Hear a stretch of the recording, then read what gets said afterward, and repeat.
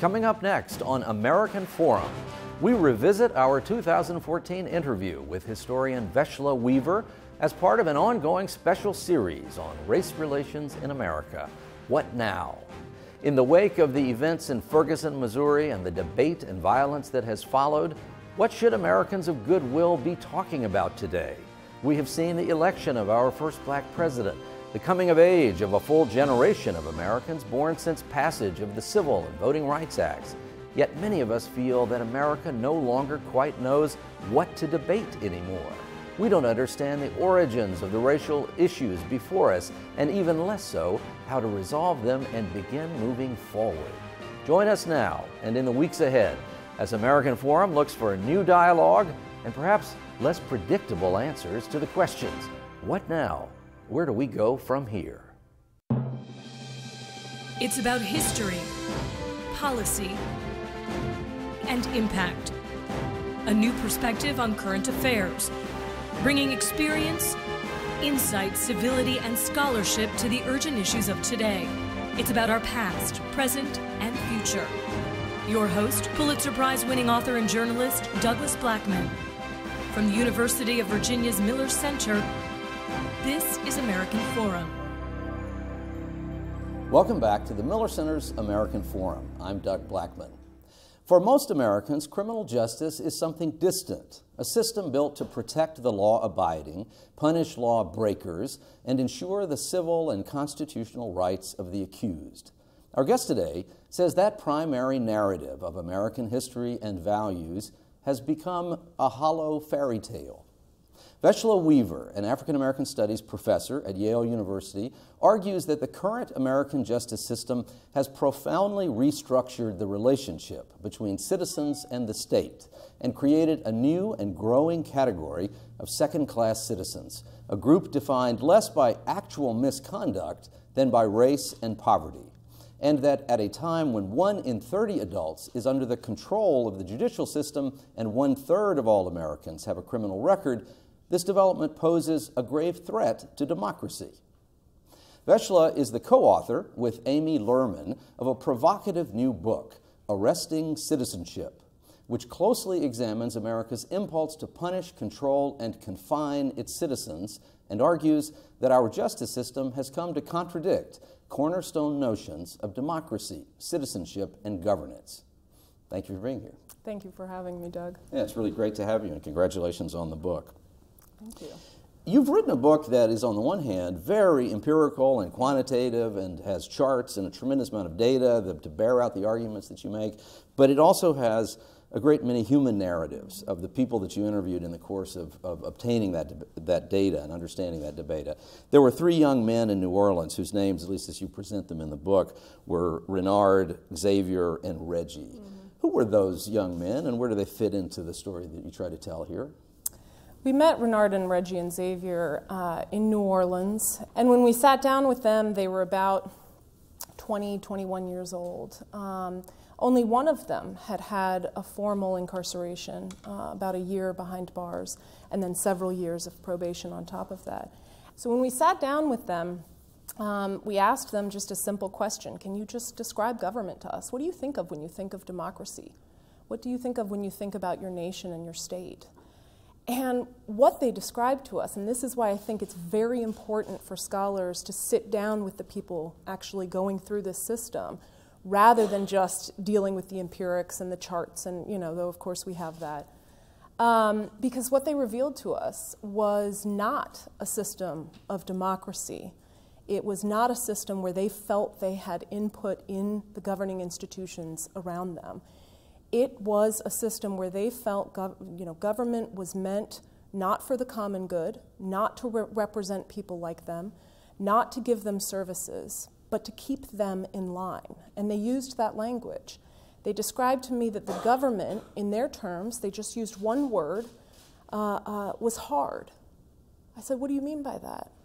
They said, Well, you know, democracy don't get you a second chance. And what they described time and time again to me was that the government that they saw in their communities, in fact, one of them used the salt shakers on the table to map out their town. Here was the jail, here was the police station, and here was the court. and, and they were literally hemmed in in this like Bermuda Triangle. And they all had uh, uh, very routine interactions with all three of those systems. That was government to them. To you and I, when we think of government, we think of City Hall, we think of, you know, elections, we think of getting our voices heard, we think of calling uh, uh, uh, uh municipal services, right, to fix something. We don't think of the jail, the police station, and the court. And yet, for men like Xavier Renard and Reggie, this is exactly what government is to them. This is the primary interface, the primary interaction they are having with representative democracy is through the institutions of criminal justice. Is it something about their behavior, the lives they lead, who they are, where they come from? Is it something about their conduct and their profile that makes them uh, encounter government so disproportionately in terms of law enforcement and justice? What we're increasingly seeing is that there's been a loosening of the relationship between criminal behavior, right, flouting the law, being running afoul of the law, and criminal justice contact. Those are not one and the same. And if you look at uh, uh, longitudinal studies of youth that follow youth through their cohort, what has occurred in, in the United States over time since about the late 1970s is that a greater proportion of citizens have contact with criminal justice that have actually never run afoul of the law. They've never done something criminal, but they're having contact. They're being stopped by police. So, one of my uh, uh, colleagues, Jeff Fagan, finds that in New York City, um, the, the, the chance of uh, coming into contact with police, being stopped by police uh, involuntarily, for a black male 18 to 19 years old is 98%, right? Wow. 98% of black citizens are not committing crimes, okay? So, what we've shown is that over time, through a variety of policy choices, uh, through a variety of broken windows policing tactics, we've expanded what we're calling the custodial population. Even as crime you know, wasn't necessarily rising, right? It peaks in 92 and then falls after. So they're not neatly tracking each other, incarceration and crime. And then coming back specifically to Renard and Xavier and Reggie, um, these were individuals growing up in a poor community, uh, high school dropouts, had very few uh, uh, uh options in the legal job market. Okay, they had done low-level stuff, mis- misdemeanors, um, some low-level marijuana in public view. Um, uh, uh, one of them had been jailed for possession of a firearm. But all of them, by age 12, okay, and every single person we interviewed in the book, their earliest encounter with the state, with the criminal justice state, was before the age of 15, okay? So, what they revealed to us was that maybe sometimes later on in their youth they had something that was more serious.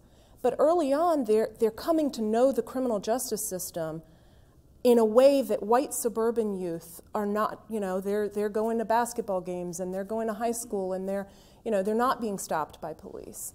Um, so there's been this, this disassociation between the criminal population and the custodial population. And it's important to make that disaggregation because it's very easy to say, you know, well, you know, they've done bad things, right? Um, many people in their adolescence, and if you go back to this longitudinal study that I mentioned, 50% of the population reports doing something that could have landed them a misdemeanor or even a felony, right? But a very small percentage of that group is actually having criminal justice contact. If you look at the whole population of Americans, including everybody who's listening to you talk right now or watching this on television, 50% of us have actually done something we could have been arrested for that would have counted, something other than a speeding ticket. Absolutely. But, but it's only this microscopic or just single digit percentage of, of all of us who were ever, who that's ever discovered or that were ever arrested or anything happens, regardless of whether a person has done, ever actually done anything, if you're black, the likelihood is you have had some encounter with the criminal justice system. You've been accused, you've been questioned, you've been right. uh, at least arrested briefly um, uh, in, yeah. in some connection particularly for poor young black men in uh, urban loca- locations. Okay, so one of the other interesting facts over time, people tend to see this, and I don't want to, you know, uh, make the, the story too simplistic. It's not just a black versus white phenomenon. It's a within black phenomenon. In other words, if you look over time, uh, uh, Bruce Western and others have shown us that upper class, affluent, highly educated, you know, college educated black men did not increase their share of imprisonment over time. Who increased their share of imprisonment over time was lowly educated, de-skilled, young, urban uh, black men. So it very much is a race and class story. It's low income, uneducated black men that are having this kind of contact. Now, we've had a lot of conversation in the, in the U.S. in the last few years about mass incarceration, and we, we sort of generally know uh, that there is this dilemma of the huge percentage of young African American males, in particular, who are incarcerated or have been incarcerated. But you go beyond just documenting the, you, you argue that there's some consequence to that beyond just that it seems to be likely unfair. We've become an anti democratic system. And I use that term very explicitly to mean um, if you hold up prisons and courts and police agencies up to the, the measures that we traditionally hold other governing institutions up to. Are they fair? Are they accountable to the public? Do they treat people equally? Is there transparency? Do citizens have voice in those institutions? Prisons, police stations, and courts, time and time again, fail. Right? So we've set up a system that, that is operating under principles that don't govern our democracy. They're unequal, they're unaccountable, they're unfair, and they don't give citizens voice. Now, let me make that a little bit more concrete, right? What do I mean by that? You can call an institution anti democratic, and that, you know, what does that actually mean in practice? To give you an example, if I go out and I'm stopped by police and uh, somebody uh, mishandles me or stops me unfairly, without enough evidence, without a cause, in most jurisdictions, I have absolutely no recourse to contest that stop. I can go into a police agency, I can uh, uh, make a complaint. Usually, nothing happens with those complaints, and in some cases, so in the case of Rodney King, for example, his brother went in the next day and made a complaint. Do you know what they did? They ran his, his name to see if he had any warrants on him. That is not being responsive and accountable to citizen input. Now, some may, might say, you know, it's, it's easy to say, well, why should we treat people democratically? These are, after all, criminals, though I've mentioned why that's not exactly right. These are, after all, you know, the criminal justice system, it's meant to deprive liberty. It's meant to be a place that doesn't have voice equality uh, and responsiveness. And, and Amy and I actually uh, really strongly argue that no, that's not right. You can have effective crime control, you can deprive liberty for a period of time without operating anti democratically. In fact, if you look at our own history, or if you look at nations abroad, they often imprison, police, and surveil their communities without doing it anti democratically. They still give citizens the ability to submit their grievances. They still give citizens the ability to be heard in the, in the, the process of their nation. They still are accountable to the public. They let the media come in and see their prisons.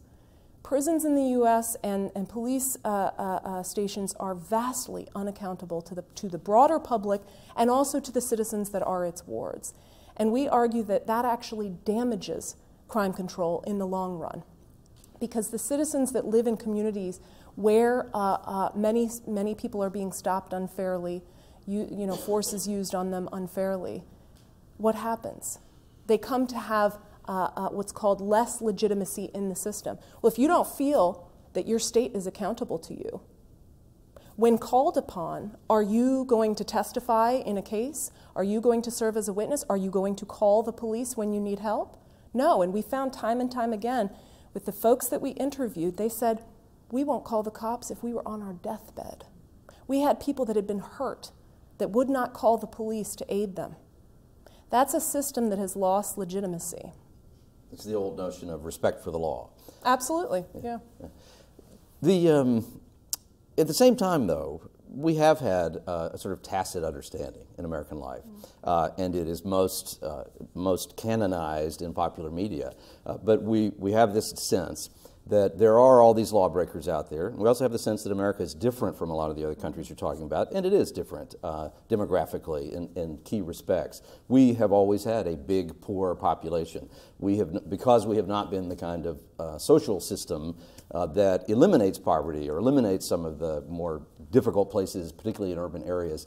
Uh, we, we have had a kind of diversity that is both negative and positive over time and in terms of the behaviors of people. And we've had this tacit agreement that we're sort of counting on the police and the prosecutors to use their judgment, mm-hmm. sort these things out, that this young man that gets picked up uh, on a corner somewhere, that while it may be the case that, uh, that the evidence against him for whatever he gets charged with that night is a little bit flimsy, but we count on that the police can be trusted right. to take a kid off the street who needs to be taken off the street. Maybe it's even good, good for the kid himself. So we have that, we trust that a homicide detective that we see on Law and Order, that the techniques he uses to convince the bad guy to confess, uh, the, this, this, the these terrible crimes like ones that we're very familiar with here today, um, uh, recently. Uh, we kind of hope that the police will be able to extract the truth out of some character what, by whatever means. So the tacit agreement is that we, we accept that the system is trustworthy mm-hmm. and give it some latitude, uh, even if that sometimes that involves some things that are messy. Mm-hmm. Is that okay? During the 1970s, we actually removed a lot of discretion um, from judges. Um, we made the system procedurally more fair, right? You can no longer be beaten up, uh, though it happens, you can no longer be beaten up in a police station uh, and a you know, confession uh, coerced from you.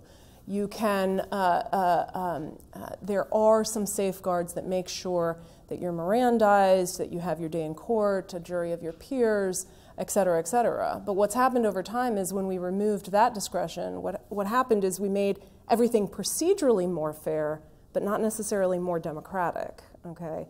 We removed the discretion from one point in the system and put it to another point in the system.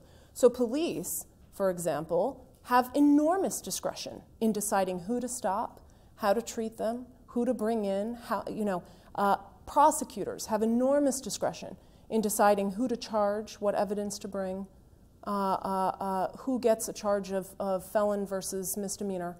Um, and what that invites is it invites a system that is, you know, heavy on discretionary actions. These are, after all, human agents that make decisions.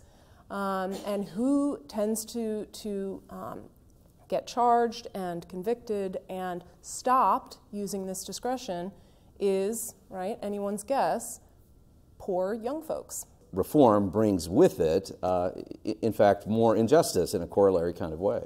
Mm-hmm. Absolutely. And, and those reforms, and I'll give you speci- another specific example, did not uh, make the system, they may have made it on the face more fair and more just, but they did not make it a system uh, that wasn't prone to error. So, another example is the case of um, Adolph Lyons, who was stopped by police in LA uh, for, you know, something minor, a broken tail light.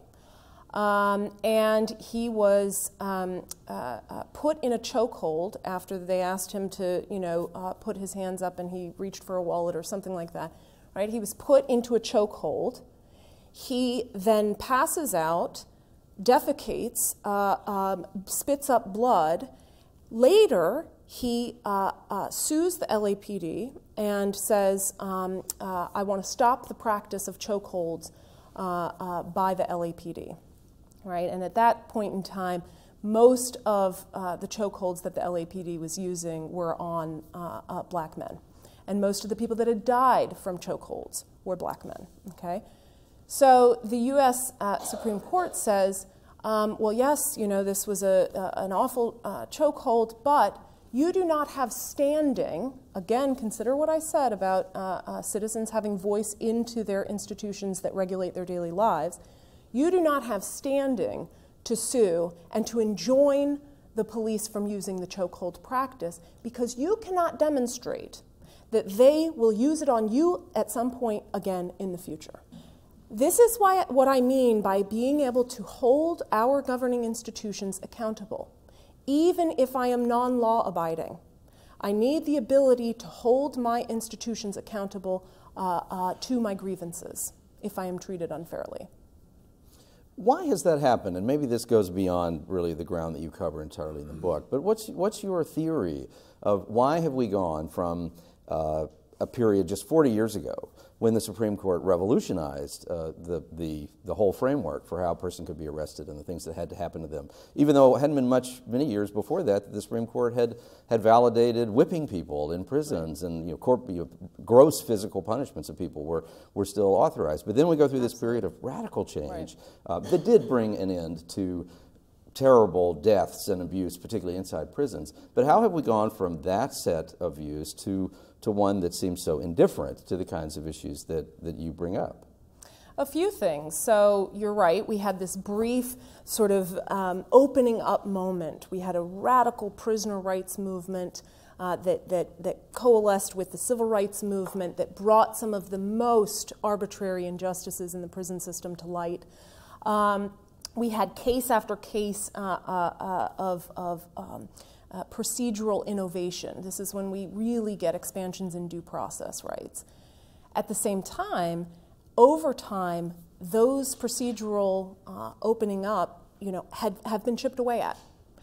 Prison Litigation Reform Act passes, which basically removes access to the courts for prisoners who claim uh, mistreatment or abuse um, and puts incredible barriers on what they need to get over to bring uh, a suit um, in, the in, in the system. So, for example, um, if I'm a prison inmate and I have uh, uh, um, uh, been abused or sodomized or something happens to me while I'm in that cell, and I want to bring a grievance and I want to sue the institution, I have to, in most jurisdictions, hand my grievance to the very officer that abused me. Uh, um, I have to actually show physical injury. Okay, so there have been cases where uh, guards, you know, uh, put cigarette butts out on somebody's arm, um, but because it didn't uh, result in a lasting injury or a scar, they didn't have standing. Well, in a democratic system, if I can't use the courts, then I can go vote, I can uh, contact my representative, I can get in touch with the media. If I'm a prisoner, the courts are almost my only avenue to have grievances heard. So if you take away the courts, you've basically taken away most of my democratic voice. I can't vote. I, most of the time, won't get access uh, to the media. I can't even write in a prison newspaper in some places, right? Prison newspapers have been largely shut down. Prison unions have been largely shut down over time. Um, though in the wake of the prisoner uh, rights movement, there were uh, hundreds uh, of newspapers and, and, and very organized prison unions operating around the country that often made prisons more safe, decent places, but also expansions in prosecutorial immunity. So that if the prosecutor in a case handles uh, uh, the evidence badly, um, eh, so there's been cases of, you know, the prosecutor knows that the offender was a white man and they charge a black man instead, right? The, the, the defendant has almost no recourse because of wide prosecutorial immunity. You cannot bring uh, uh, uh, civil charges against a prosecutor. Um, and police enjoy, enjoy uh, qualified immunity. It means that these agents in our government, and they are governing institutions, are not accountable to the public. They can operate with wide discretion and they have immunity. They cannot be held to account. Let me play devil's advocate with you for a moment, though. If we back up and we look again at why did this happen, how did this happen, you go back to 1970 or thereabouts, and you have this sense in the country at the time that A, crime is skyrocketing, which it was, uh, and continued to for another 20 years. Uh, there's the sense that this new scourge of drugs and behaviors that go with it has become a huge problem in the minds of most Americans. There's also a real sense that that really bad people are getting away with more and more bad things, mm -hmm. and the technicalities are getting them off, and the police are handcuffed. They don't have enough guns. They, there aren't enough of them. They're overwhelmed. Uh, and so, over in response to this, this very existential threat perceived by many Americans, there begin to be all of these changes in the law to make it uh, more difficult for right. people to get out right. of things. And, much more grave penalties if you are a repeat offender. Three strikes, you're out, that sort of thing. Mm-hmm. One of the most remarkable things to me about that whole period, all the way up into the 1990s, uh, is that if you look at the public opinion surveys, those are things that are overwhelmingly supported by Americans, including African Americans. Mm-hmm. You go into the Attorney General Holder's told me stories of going into housing projects uh, when he was a U.S. attorney uh, in Washington D.C. and talking about diversion programs and having folks there say, "Well, that's all fine, but first you should arrest all those kids mm-hmm. out on mm-hmm. out on my stoop and get them out of mm-hmm. here." Mm-hmm. Uh, and so, in some respects, one could make the case yeah. that the problems you're identifying are outgrowths of reasonable responses mm-hmm. to a national crisis. The reasonable response went too far. So, um, and you're absolutely right. So I'll start first with your question of well, blacks themselves often support uh, um, uh, aggressive handling uh, of people. 60% of the people in the surveys that we used had also been victimized, often before they were justice involved. Okay? So it's not the, the old narrative of like, you know, the white victim and, and the black predator. These are black communities face rates of predatory violence that are absolutely an epidemic. They do not want crime any more than, than, than uh, safe white communities. They want communities that are safe, that are decent, uh, where they can walk down the street without fear of their life. However, they also, if you look at public opinion surveys, they also want to be treated fairly uh, by the police. They want the police to have a presence, but they don't want to be uh, uh, uh have force used on them um, when they're not uh, an offender. So. I think it's important to recognize that it's not this like, you know, democratic impulse. Look, we had this rising crime rate, people were scared. Um, we had a moment where it seemed like uh, uh, things had gone too far the other way, and then we cracked down. You know, um, people were asking for things that would make their communities safe, and they didn't get them. A big part of why we saw the militarized police force out in Ferguson has to do with a program that many people forget, but that was absolutely one of the biggest, fastest growing agencies in the federal government. It's called the Law Enforcement Assistance Administration and it dispersed billions of dollars in federal funding with almost no strings attached to localities with outdated uh, uh, and sort of parochial police forces. What happens, what transpires across the course of the decade from 1970 to 1982, the life course of the agency, is that police agencies receive tanks, armored tanks, they receive bulletproof vests, they receive billions of dollars in funding and they do what anybody does when they get uh, uh, more money, right? They build up infrastructure.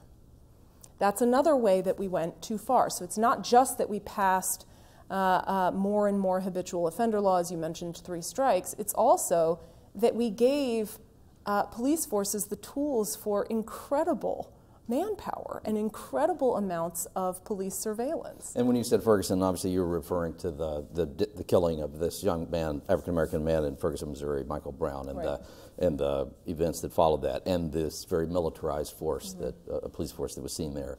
Um,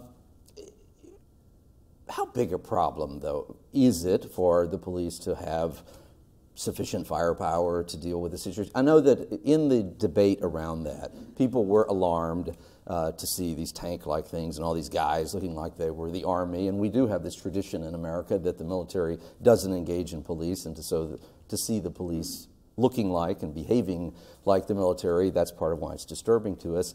On the other hand, there were a lot of police officers and a lot of wives and husbands of police officers who said, what are you people saying? You know, they shouldn't have enough guns. You know, this is easy to say at this moment, but when my husband is dead uh, after some incident in which he's been overwhelmed, then you know, don't, don't, don't talk to me about too, many, too much firepower in the hands of the police then. I mean, I'll come back to the book and to the communities that we spoke with. People feel, right, and one of the arguments we make is that, um, you know, the police are not a separate arm of government. They are part of our American government, right? The criminal justice system is part of our democracy.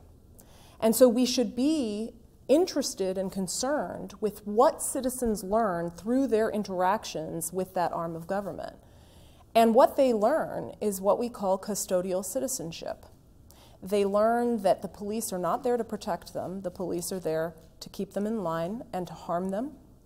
They learn that they are not citizens with equal voice worthy of concern and respect. They learn the anti democratic aspects of these institutions, and it's reflected in the anti democratic aspects of this clientele. So I'll give you an example. Many mundane behaviors that I, you and I probably take for granted walking down the street carrying a bag, having friends over to our house. Uh, uh, Sarah said to me, um, Oh no, you, can, you can't have friends over because if the police see that too many people are coming to your house, they automatically think you're selling drugs and you're going to have a police force uh, at your house. So I just avoid having friends over. Okay, what is this teaching people in these communities about their standing in society, about their ability to engage in the behaviors that you and I take for granted? I had other people, I had one guy who sticks out in my mind, Charles, because he actually was one of these folks that said, Oh no, the police treated me fairly. I like the police. I'm glad that we have the police to protect. And then I said, um, Yeah, so um, uh, uh, you think the police are fair. Um, that's great. And he said, And you know, you just got to do certain things. Like, for example, I never ride around in the car with more than two. I said, More than two? He said, More than two black people. That's, that's pretty much like that's illegal, right? That's, that's the system. They're learning anti democratic lessons about what things they can and cannot do. I'll give you other examples. Uh, uh, we had people that said to us, um, um, Well, I, I don't walk this certain way, and so I take an hour to get home because I go the long way around. Because if police see me walking through this area after work, doesn't matter what I, uh, you know, what I'm on my way to do. Doesn't matter that I've come from work and I'm wearing uh, a, a, a uniform. I'm going to get stopped. So I add on an hour to my trip just so that I can avoid that kind of interaction. And the three boys that I talked about uh, that I began the book with, Renard, Xavier, and Reggie, um, they said, "Oh yeah, if you if you come ride through through our neighborhood right now, and you're in our car, we're going to get stopped." They're going to think that, that a drug deal is going on. Why? Because you're racially incongruous. You don't belong in this neighborhood with us. So something's going down, right? These are not the kinds of lessons that inspire democratic citizenship. The, the further thing that happens is because we went into this thinking, well, people don't participate in political life when they have this kind of interaction because they've been formally disenfranchised by felon disenfranchisement. Meaning they can't vote. Right, they can't vote. Actually, no. It's much deeper than that. They don't, they don't vote, they don't participate in any sphere of government. They don't get involved in civic associations. They don't call uh, uh, 311, which is a service for, you know, getting, you know, your city government to fix your streetlights, because they fear police interaction they don't feel like voluntary participants in our democracy, they feel like involuntary subjects. So, the best thing for them to do, and I had many people, probably the majority of the folks that I interviewed, tell me, oh, no, no, no, you got to stay below the radar. You got to keep a low profile. I find a way of mailing in my check to the court when I have to pay a fee rather than going in, because if I go in there, they're going to find something else to lock me up for. I need to keep my distance from government. I need to stay below the radar. I need to keep a low profile. I need to keep my head down. I mean, these were the, again and again and again, this kind of vocabulary that you don't find in middle class, white, suburban neighborhoods. This idea of being invisible. It's a politics of invisibility.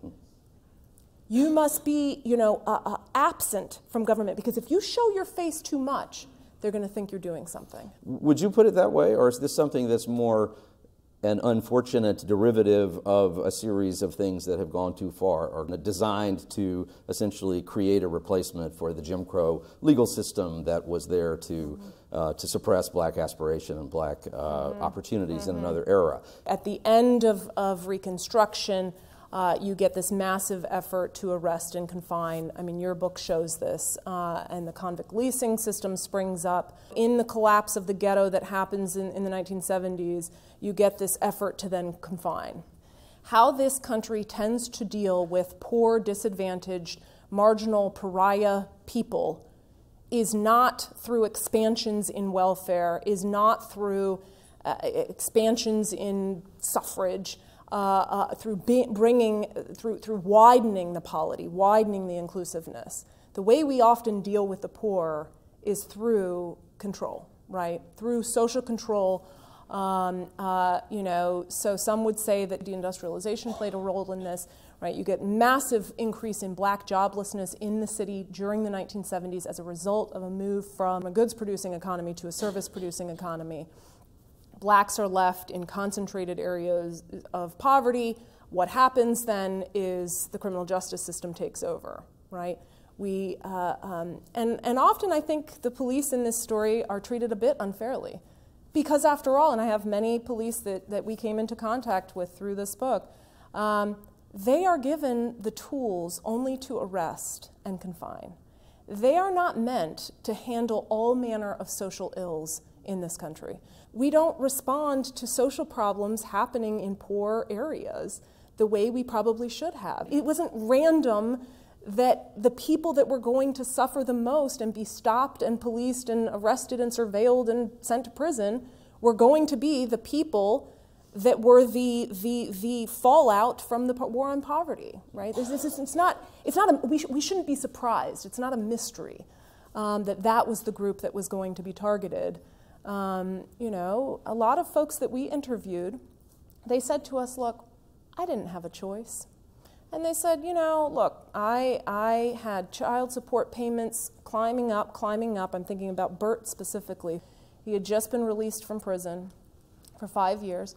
And he said, and I really felt like a man. I was providing for my family. I went out and I, was, I, I sold drugs and these, these court costs and the, the, the child support payments had been stacking up, stacking up, stacking up, but I was on top of everything.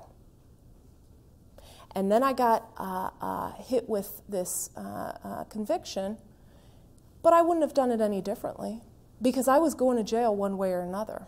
I'm paraphrasing him. Uh, he said, because I was either going to jail for not being able to, to pay my child support because I couldn't get a legal job, or I was going to jail for, for selling drugs, but at least I protected my family and provided for them during that time. So a lot of people that we interviewed were extremely uh, marginal. They were at the margins of uh, uh, uh the labor force. Um, they had inconsistent work histories. They often found, I had one woman who, she broke my heart because she only had a misdemeanor and she couldn't get a job at CVS right? She had a misdemeanor on her record and she couldn't get a job. And so she was homeless and pregnant at the time. And, uh, um, you know, uh, that was her situation. So a lot of times, you know, we don't consider that there's this other half. We talk about criminal justice, but it's also the state of the, the, the peril of poverty in these communities. And the and and the democratization of poverty, I take it, because these these sorts of things do begin. There, there, are more white people and other kinds of folks who are not necessarily African American vulnerable to falling into poverty now, and right. and some of these some of these uh, terrible outcomes begin to extend across a, a, more diverse array of very poor people. Uh, I think that the data bears that out. Yeah. But it, it's it's fascinating, and so far into middle class years, to our bourgeois years, this idea of a of a, that, that engaging in criminal behavior and selling drugs is in effect for certain people the pursuit of the American dream and actually showing responsibility right. and mascu- classic masculine notions of taking care of your family. That's a really foreign concept, but the idea that that in, within a certain group of people or an individual's mind that that's really preferable and that that's a more attractive right. figure in a community than a lazy guy who's living off the government, this other classic caricatured stereotype that, right. that middle class people get worked up about. Mm-hmm. Which is better in a sense, the guy who actually is working hard at an illegal thing, or the guy who's not working hard at all? Absolutely. Uh, uh, that, that's, that's really fascinating. Yeah. When you're faced with somebody who was locked up for four days for using a curse word, it, it's sort of while she was pregnant, um, and and it's just it, it it blows my mind. It's just what part of effective crime control do we get out of that? Instead, we're creating the very population that we're trying not to, right? And we're creating deep suspicion, deep distrust in communities where what we need is these communities to be trusting and involved and involved with their civic groups and calling the police when they need help.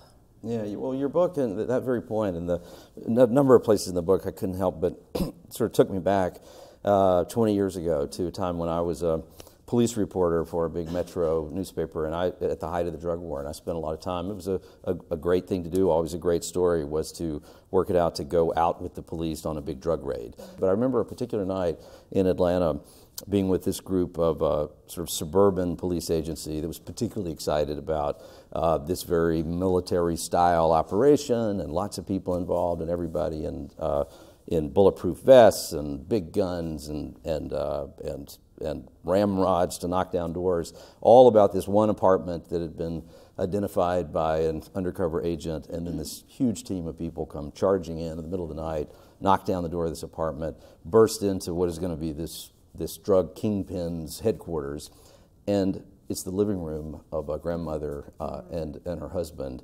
Uh, that and on the walls there are photographs of all the grandkids who and in their high school graduation gowns.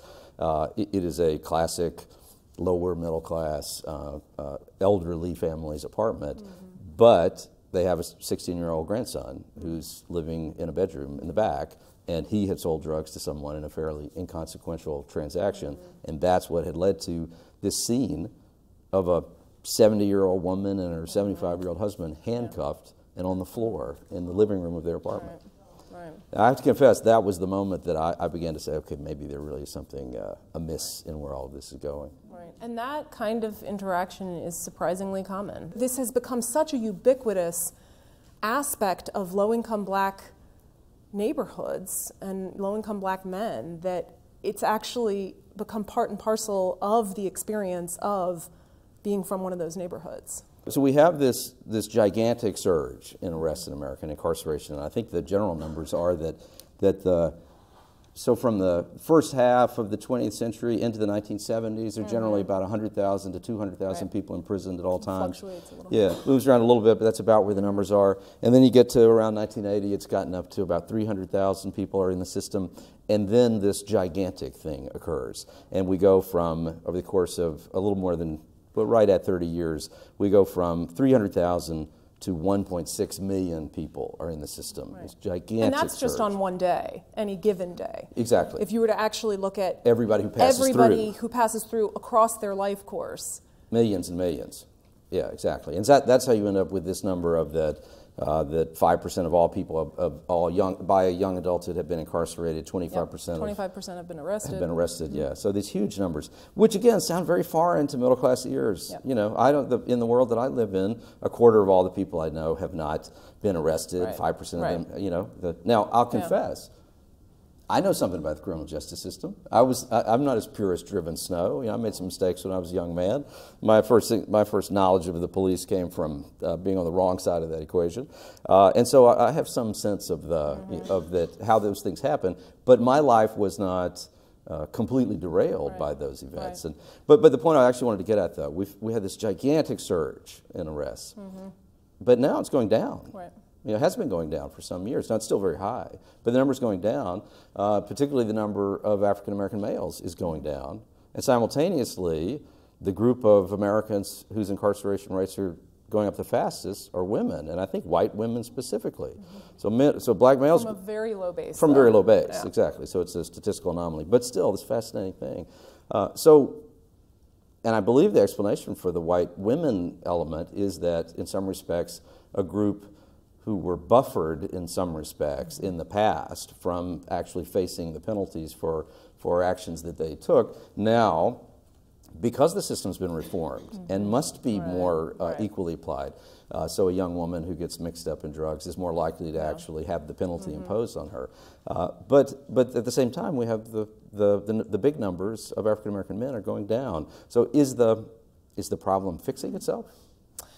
Okay, so yes and no. I'm a little bit uh, less optimistic, maybe, um, partly for a number of reasons. So the first reason is the BJS, the Bureau of Justice Statistics, just released a report showing that actually the rate of incarceration is now in the last year not going down. Um, uh, so we had a brief couple years moment where it looked like we were at sort of a tipping point. Part of that is we just got so, you know, high up there that the, the it, there's sort of not a surplus population to imprison anymore, right? So it had to kind of reach a tipping point.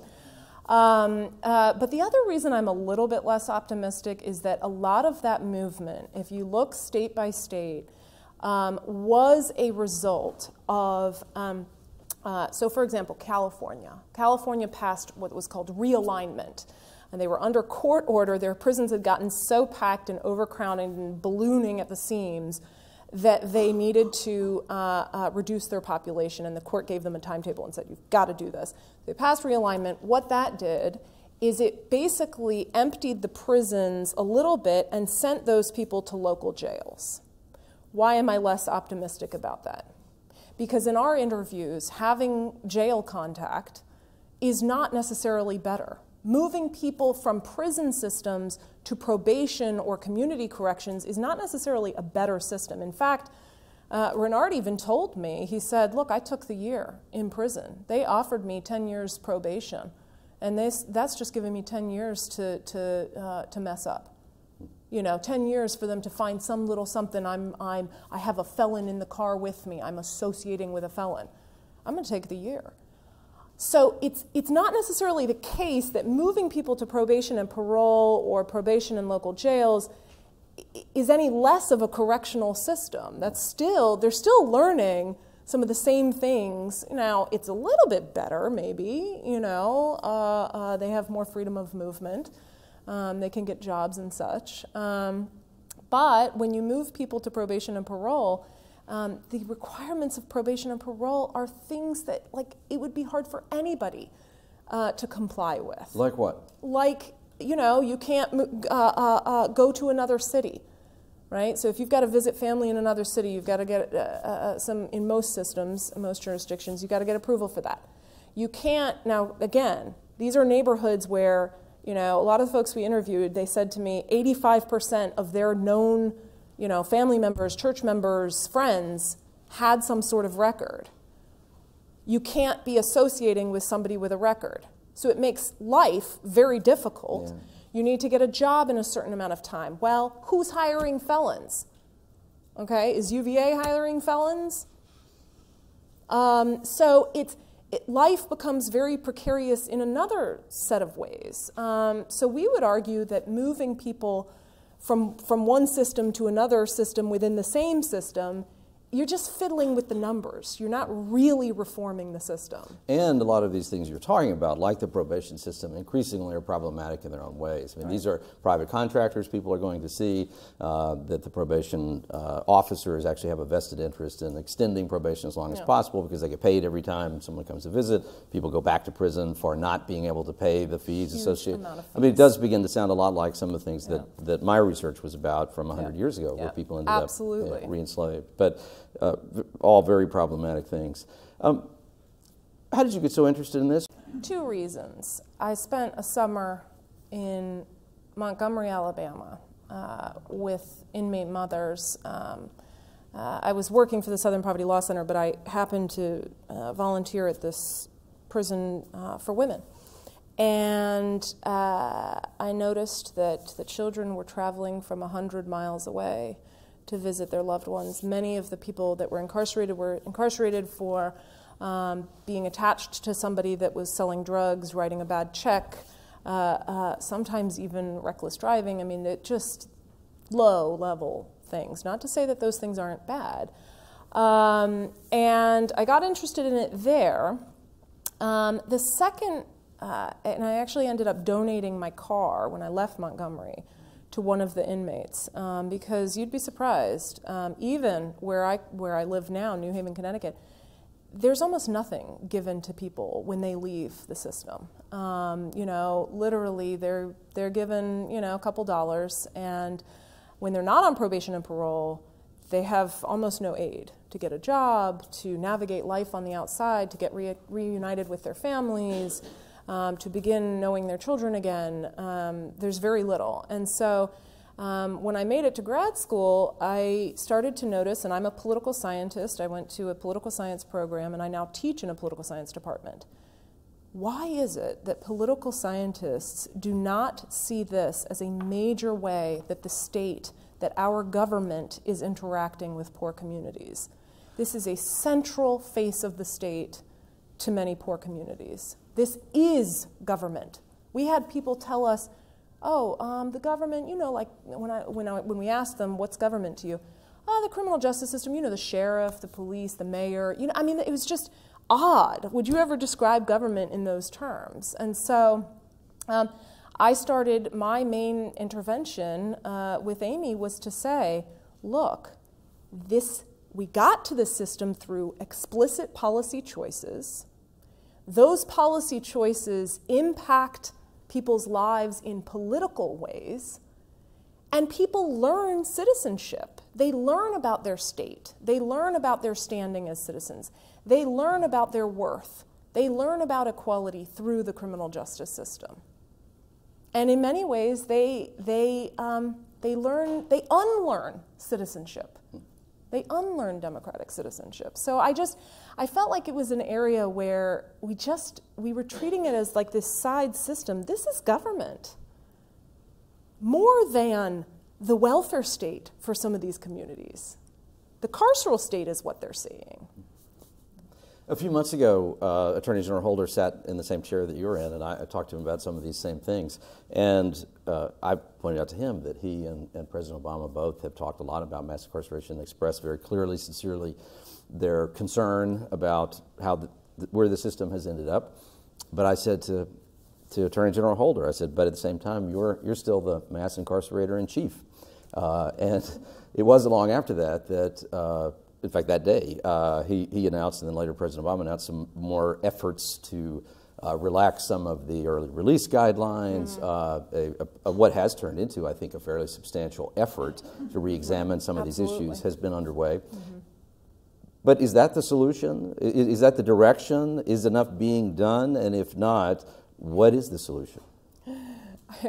You know, I was thinking about the solution this morning. The solution is to not do what we're doing now. That's effectively, it, it, it, it's to just, first of all, we need massive sentencing reform, and not just at the federal level, right? Most of the criminal justice system is not federal prisons. It's at the state level. It's at the local, local level, local jails, county jails. So we need to relax uh, uh, some of the uh, very harsh sentencing guidelines, habitual offender laws, we need one of the best things that we can do, and if Eric Holder were sitting here, maybe I'd tell this to him, is to immediately cut the funding. Federal grants gave rise to this behemoth. Cut the grants. It's very difficult, right? Once you build a prison, they will come, right? Once you build a prison, once those beds are there, they will be filled. I've never heard of a prison that was at like, you know, 30% capacity. Okay? So cut the funding the system will decrease on its own. Okay, and this is what a lot of the right on crime folks, right? There's this great bipartisan uh, coalition uh, forming between hardline conservatives who are now seeing that this is a major and very expensive way to deal with crime. Like Rand Paul, Senator from Kentucky. Absolutely. Okay, the whole Rand, right on crime initiative is about, you know, we need to scale back like pretty radically. It's not just going to be tweaking one drug law, right? It's great. I applaud the fact that we retroactively, you know, uh, uh, uh, uh, eliminated the, um, or close to eliminated, the crack cocaine sentencing disparity, but there's many sentencing disparities. There are many laws on the books that give people a hard criminal record for something that 30 years ago would have been dealt with through citation, okay, would have been dealt with through a fine. So we need to massively reduce, but I would not stop there, okay? So incarceration is one piece of the puzzle. The other, the, the other piece, and though we have much less good statistics on this, is the huge increase in police stops over time, the huge increase in misdemeanor convictions. It is very easy to churn out uh, uh, misdemeanor con- uh, convictions, and prosecutors have almost no incentive not, not to charge them. They're very easy to get through. So it's also on these sort of lesser, more mundane aspects that we need to stop feeding the system, not stop growing the system. I mean, if you look at New York, 600,000 people being stopped by police in a year? Though at the same time, those numbers were skyrocketing, and those incarceration numbers for the whole country were skyrocketing, crime rates did turn Right. and then began to fall precipitously. Is there no possibility that those things are related? Virtually every social scientist that I know finds that the link between crime rates and incarceration is a very messy one. They do not track each other neatly, okay? Partly because the way we punish is not simply a function of crime, right? You can have crime and decide to deal with it in other ways. Um, so I would say we're at a very good window of opportunity. Crime rates are low, though they're still staggeringly high um, in some areas. We still do need to protect people uh, from violent harm. Um, but now is a good moment to begin revisiting the system because we are at uh, uh, the safest point that we've been for a long time. Well, thank you for being here. It's an important book. Thank you so much, Doug. The book is Arresting Citizenship by Vesla Weaver.